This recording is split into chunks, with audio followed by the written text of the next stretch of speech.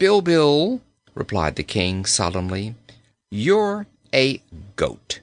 Do you imagine I fell down the well on purpose?"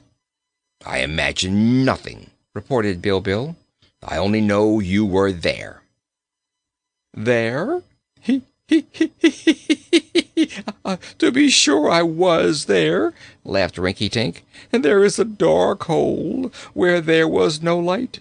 There is a watery well where the wetness soaked me through and through hee, hee! through and through." "How did it happen?" inquired Inga. "I was running away from the enemy," explained the King, "and I was carelessly looking over my shoulder at the same time, to see if they were chasing me. So I did not see the well, but stepped into it and found myself tumbling down to the bottom.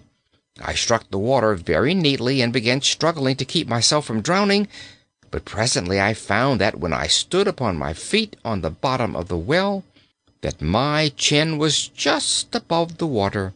So I stood there and yelled for help, but no one heard me."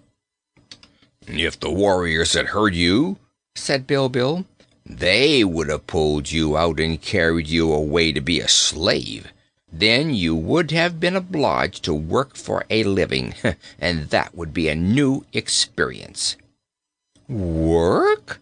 exclaimed Rinkitink. "Me work? Ho, ho, ho! Hee, hee! How absurd!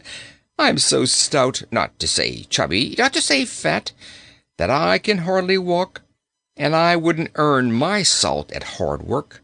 So I'm glad the enemy did not find me, Bilbil. How many others escaped?" "That I do not know," replied the boy, "for I have not yet had time to visit the other parts of the island.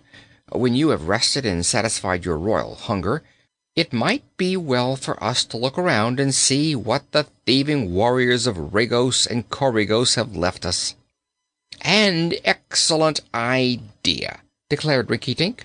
"I am somewhat feeble from my long confinement in the well, but I can ride upon Bilbil's back and we may as well start at once.